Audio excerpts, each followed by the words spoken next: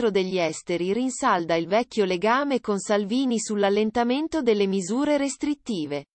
Con loro c'è il presidente Emiliano. In barba alla linea prudente del PD.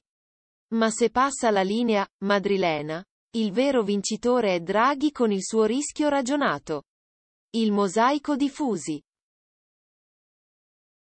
Per un ministro degli esteri conoscere le lingue è senz'altro un vantaggio.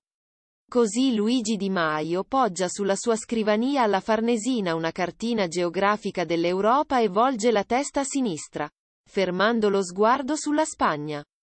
Vede che c'è un buco politico che si chiama Podemos che ha consumato tutto il patrimonio degli indignatos, prosecutori madridisti del Vaffa ormai Dantan, mentre si staglia la figura di Isabel Diaz Ayuso, popolare di nome, di fatto e di voti, e si rivolge al suo staff. Toc de queda? No mas, tradotto per chi non ha letto Cervantes in originale.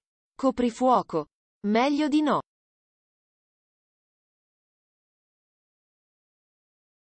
Così il 16 maggio rischia di diventare la data che sana una vecchia ferita che altri hanno cosparso di sale mentre i protagonisti del primo governo della legislatura hanno curato giorno dopo giorno evitando la suppurazione.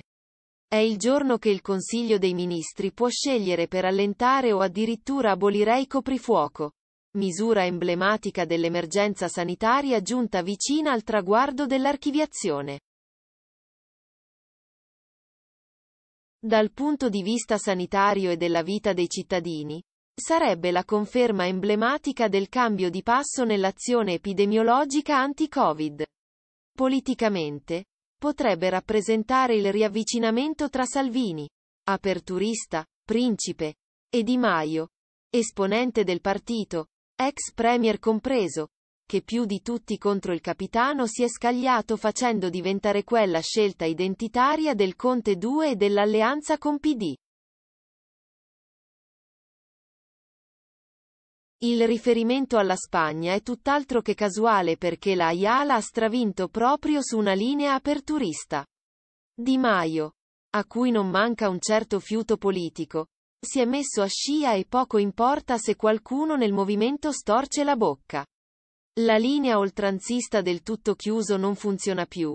I cittadini oramai non la sopportano pur se molti di loro, sciaguratamente, rinunciano a rispettare elementari e fondamentali misure di sicurezza, dalle mascherine al distanziamento.